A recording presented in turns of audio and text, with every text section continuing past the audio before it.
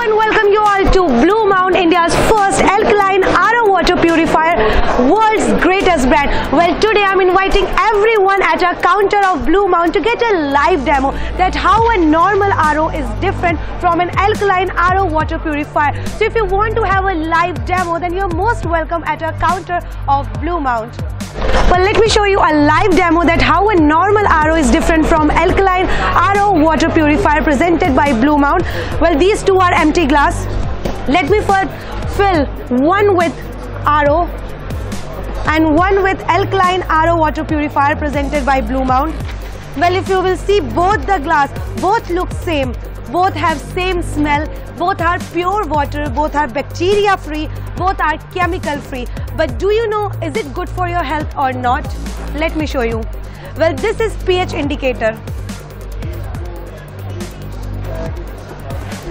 Oh, strange.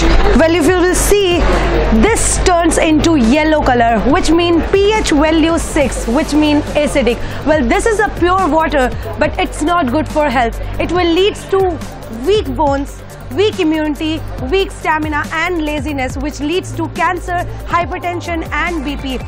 Well on the other side if you will see the second glass it's come into a beautiful purple color which means a pH value between 8 to 9 which mean a strong bone, strong immunity and strong stamina.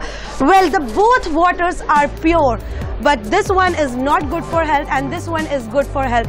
This means a normal RO only maintain the TDS of the water which mean a bad health and the Blue Mount maintain the TDS, ORP and pH of the water which means a good health.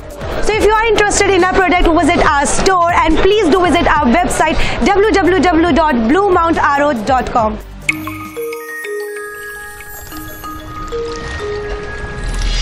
Blue mount सबसे pure सबसे healthy